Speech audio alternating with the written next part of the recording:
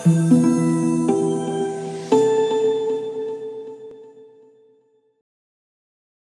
I'll show you the TC2 charger and how to set it up with the remote panel.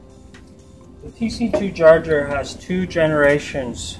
It has a generation not capable of remote uh, parallel operation and one that is capable.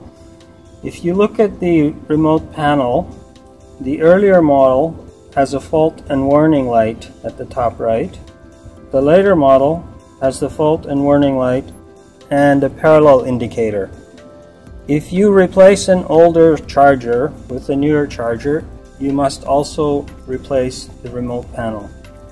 One other way to tell the difference is the newer version has two wire ports for parallel operation. The older version has just one.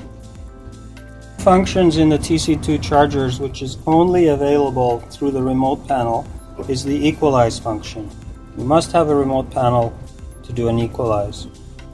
I will show you the fuses which protect the unit in case of inadvertent reverse polarity. The fuses are located under the cover on the side of the unit. They're automotive type blade fuses and they can be removed and pulled out as with any regular automotive situation. The remote panel connection is in the front of the unit under this lid. The remote plugs into the top port as labeled. The lower port is for the battery temperature sensor. You'll also note that the TC2 charger has one ground wire and three positive wires to manage three separate battery banks.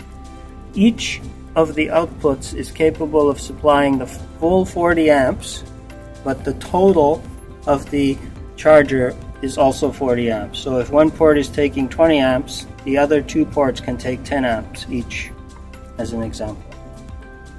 I'll show you what the display panel looks like during power up of the charger. I'm going to plug it in now.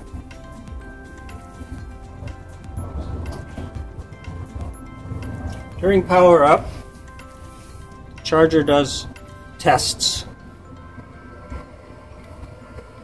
In this case, we've left the remote port unplugged to show you what it looks like when you have a fault condition. What you'll see is the fault light blinking and above it one of the power level indicator lights is blinking. When those lights are blinking it indicates the fault type, in this case REM for remote.